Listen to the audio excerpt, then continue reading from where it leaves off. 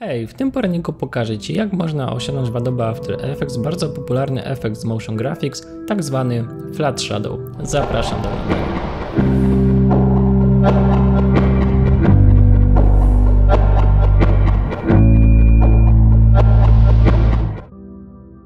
Ok, jesteśmy w programie. Ja już mam przygotowaną swoją kompozycję z niebieskim solidem, który mi posłuży jako tło. Teraz sobie stworzę nowy tekst, który nazwę po prostu tak zwany flat shadow. Jak w tym wypadku e, dam sobie anchor point na środku, align, e, aby było wszystko na środku i teraz e, przechodzimy do zabawy. Pierwsze co, to potrzebujemy tak zwany radial blur, ale nie zwykły tylko radial fast blur. Jest to efekt, którym się prawdopodobnie spotkaliście. Teraz może już Wam coś to mówi. Jest to efekt, który jest bardzo często właśnie stosowany w intrach science fiction w taki właśnie sposób, jak teraz Wam pokazuję, że po prostu e, przechodzi e, taki jakby rozbłysk przez tekst. No, w taki sposób. Więc animując coś takiego możecie uzyskać właśnie przejście science fiction, ale my chcemy uzyskać coś innego, więc dajemy amount na maxa, czyli na setkę i tym tutaj suwakiem, który odpowiada za po pozycję, dajemy go w ten sposób, tak aby e, nasz rozbłysk był e, zwrócony w tą stronę, czyli tak jak pada cień. Jeśli chcemy w tą stronę cień, dajemy w tą stronę e, naszą pozycję. Jeśli chcemy cień do góry, to, to będzie dziwnie wyglądało, to dajemy sobie pozycję w ten sposób, czyli wszystko, co jest jakby taką opozycją do miejsca cienia. Czyli tu mamy pozycję, a tu mamy nasz cień. Teraz słabo widzimy i musimy to wzmocnić, korzystać, korzystając z e, takiego efektu, który nazywa się Made Shocker przerzucamy na flat. Pierwsze co robimy, to musimy e, wszystkie softness dać na zero, bo nie chcemy, aby e, nasz obraz był soft, tylko aby ten cień był po prostu twardy, jak taki flat. E, flat, no po prostu płaski cień, jakby w motion graphics liczy się bardziej prostota.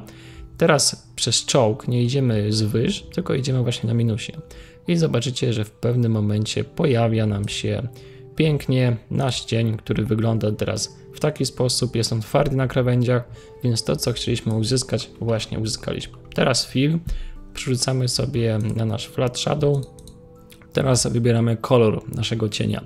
E, ja chcę kolor czarny, czyli standardowy cień, więc daję sobie kolor czarny i teraz jeszcze w tym fill w opacity zmieniam sobie e, na na przykład 20, tak aby ten cień był łagodny w taki sposób, jak teraz widzicie. Czyli już mamy bardzo ładny cień. Teraz musimy sobie wydobyć nasze litery.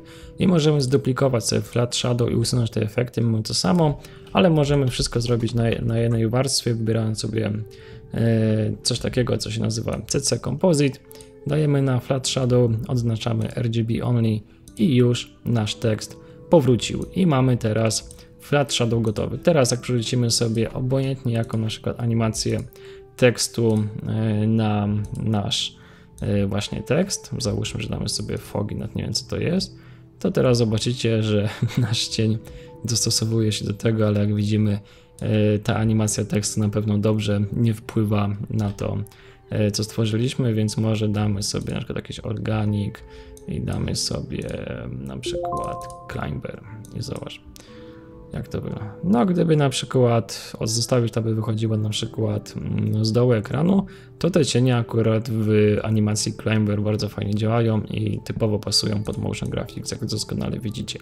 Więc e, ten cień, jak zobaczyliście przed chwilą, zostaje i jest gotowy do naszej każdej edycji.